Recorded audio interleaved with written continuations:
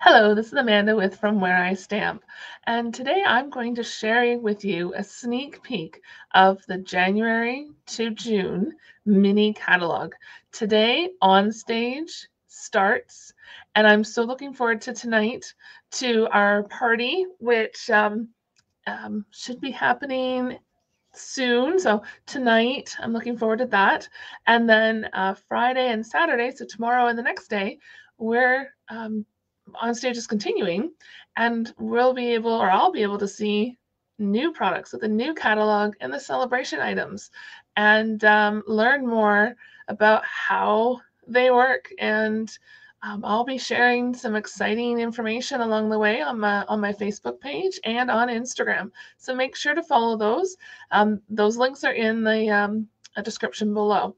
So we're going to use something from the current annual catalogs that is still current until May 3rd.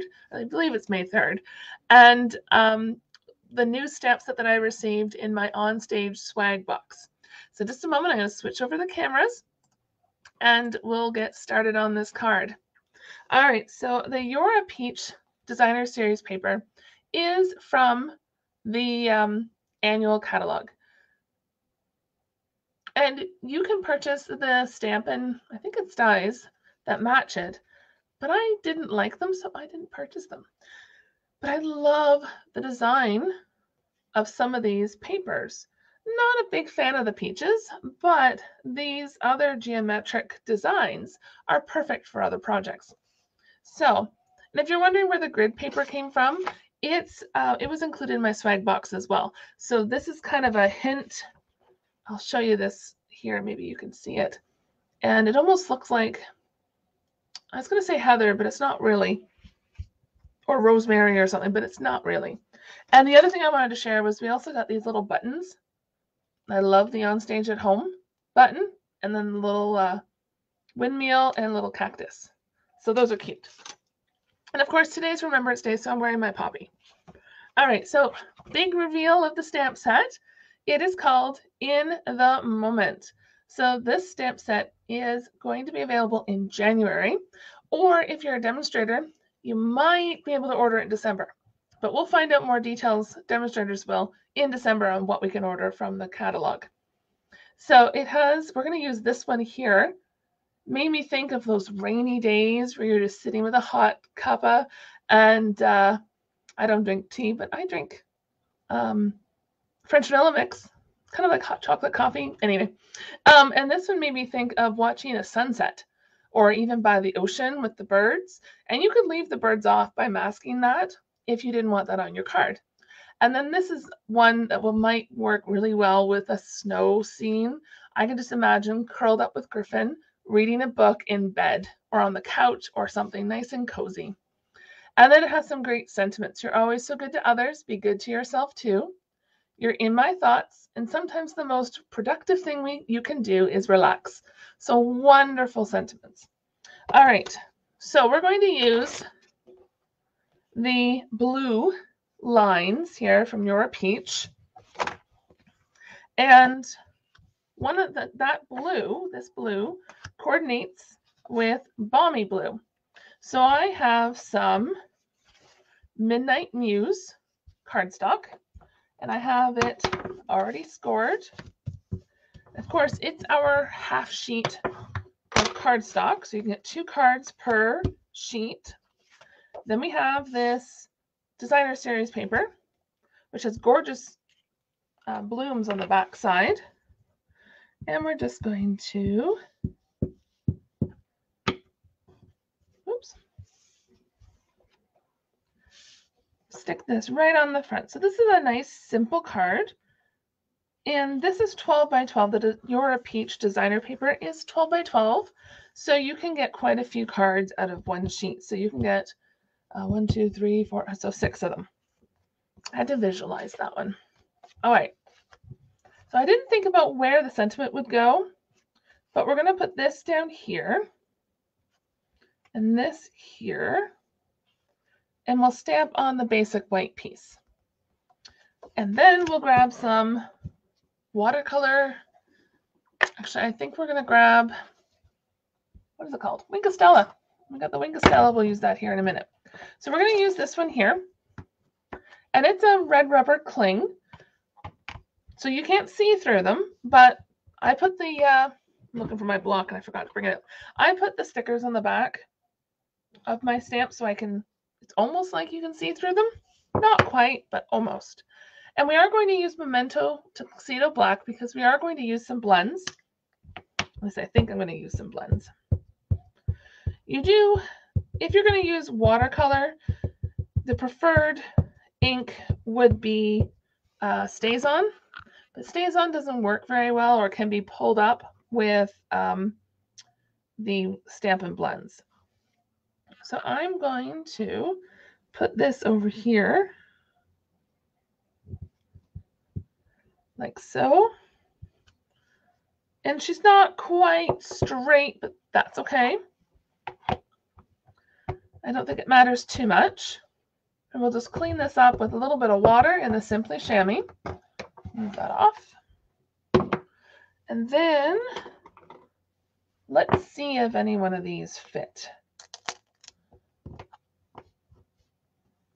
So not really. So we're going to put this, this one here.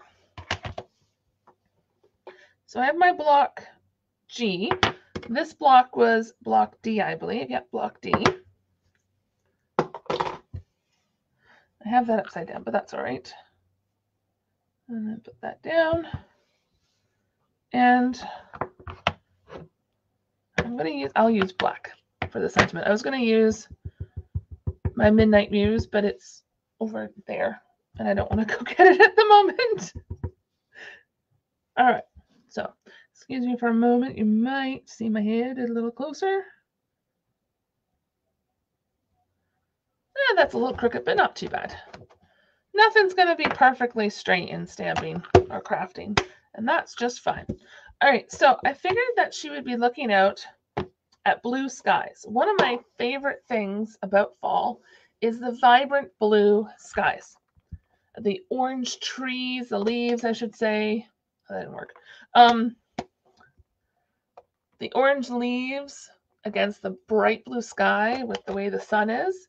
So I'm just squeezing the ink pad together to put some ink on the, the lid. You could also just pull up the ink right off the ink pad, but uh, oops, there we go. So think this one is good. I may have to buy a new one. All right. Well, sugars. I guess I need to add that to my order. It's not going to work. All right, backup plan. The reason I was going to use Wink of Stella is because it has some sparkle to it. But we are going to use our water painters instead. So this, I hope I have enough water. This one is one of the fine tip. We also have kind of a bigger tip. And then one of my favorites is like this big paintbrushy one. So you can choose which one you want to use, but we're going to use this one. And it does have push, so let's see if the water will come out. Yep, there we go. So a little bit of water there. I like having a Kleenex or a tissue or something. And just pulling up. You don't want too much water because um, I should have probably used some thick basic white for this just because I'm doing some watercoloring. So I wanted just to add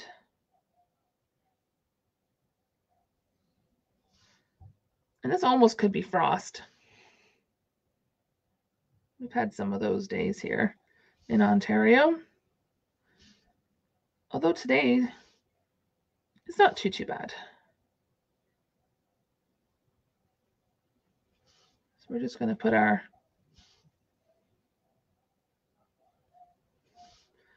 sky, whatever you want to call it. I need a little bit more color in there.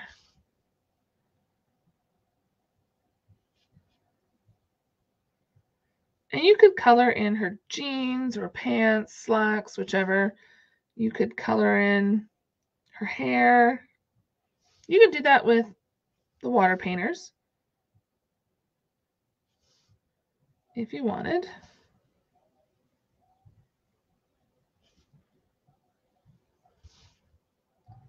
I really love the fine tip on this one. So if it's not, if you start off with a little bit of color, then you can go back in and pick up just a little bit and add. Now you also could um, use some uh, the watercolor wonder, I think it's called, um, paper to be able to um, get more of a watercolor effect. So I'm going to leave it like that. And of course, we just want to squeeze the water out to get that tip nice and cleaned off. And depending, usually I'll leave mine, but you can just use your little cloth to wipe that up. All right, so I'm going to grab some of my blends just to show you. And see, if we did have the um, Wink of Stella, then it would be kind of icy, more icy looking. All right, so I'm going to do crumb cake for her hair. And I'm going to do, let's see what I got. One of these, soft succulent, I think. And I do have balmy blue. So I think we'll use those. So with the Stampin' Blends, we have, of course, our thin line means it's the pen side, so finer tip, and then the brush side is the thicker line. And I always put the light on first.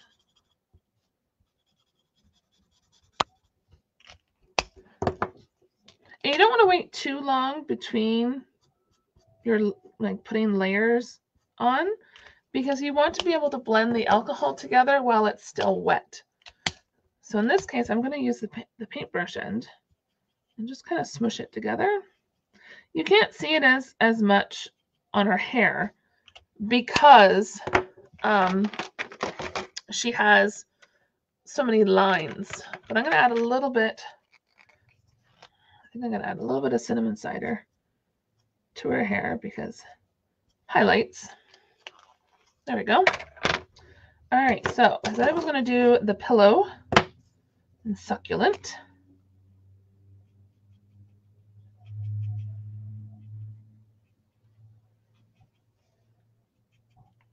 Something like that. And you kind of want to think about how, oopsie, this is the dark.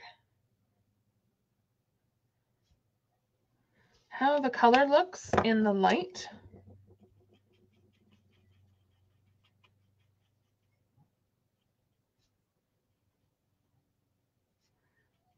So if you have a light source coming in one way, then it might be a little darker on one end. Kind of like this. And then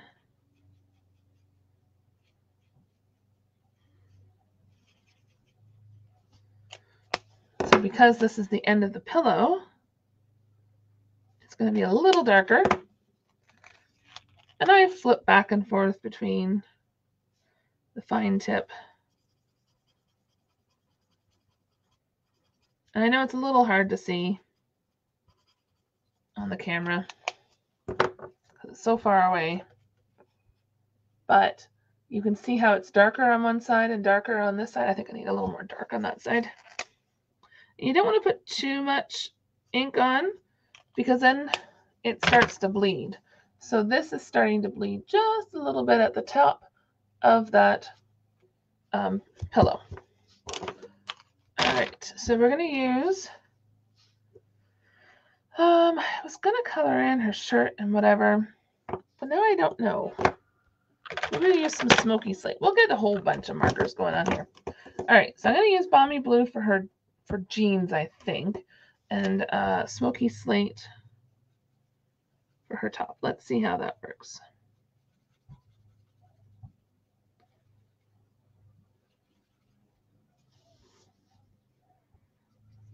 Okay. This is her shoulder. And that's the window frame there, so I don't want to paint that. But this would be a little darker because it's farther away.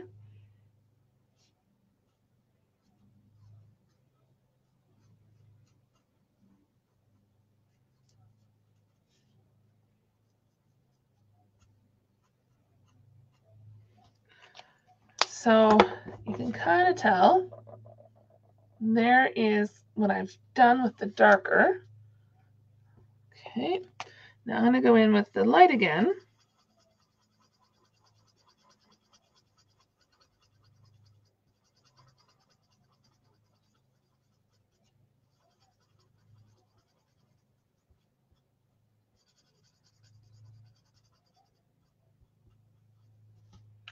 and do that.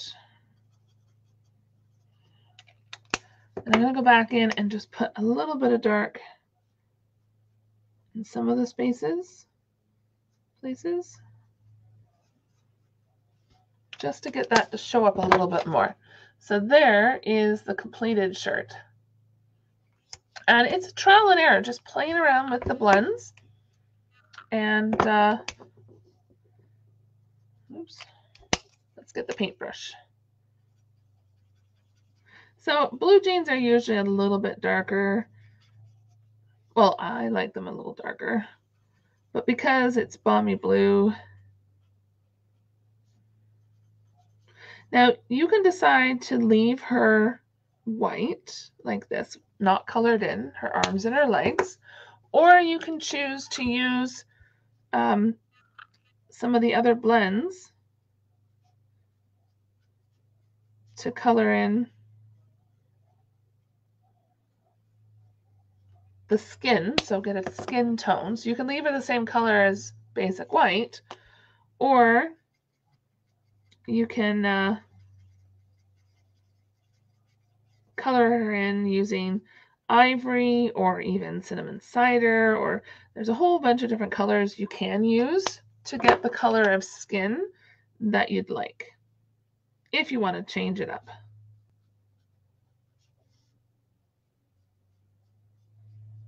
Okay. And then we're going to leave the cup. We're going to leave the cup. Should we do the cup? Let's do the cup and dark crumb cake. There we go. So there is our little colored in image. And you could do that pain idea instead of using um, the uh, water painters or the Wink Stella. You could use balmy, balmy blue, light and dark blends. All right, so now our, and see it bleeds through. So it's always good to have something on your table too. So now we're going to glue this on to our balmy blue piece. You want to make sure that three sides are mostly evenish because you don't have um, a blue edge over here. So like so. We already have this glued down. So then we can glue this down. Now you could add some more cardstock in to change up the design a bit. Oopsie. Try get it right on my paper better than my desk. Or you could add some ribbon, some, I might grab some rhinestones, but I'll just stick this right like this. But you can add some ribbon on there if you wanted. You can add some more cardstock colors or other layers in here if, if this is too plain. But I just wanted to show a nice simple card, how to use some designer series paper with um, some coloring on that image. So if you've enjoyed this video um, and the sneak peek of this stamp set, I'm going to move this because it has glue on it, um, then uh, make sure to subscribe to my YouTube channel. And if getting sneak peeks and being able to buy new product early is something that you're interested in, um, there'll be a link below on how you can join Stampin' Up. And there's a um, special going on in November of 2021. So I'll have that information uh, linked in the description. So thank you very much.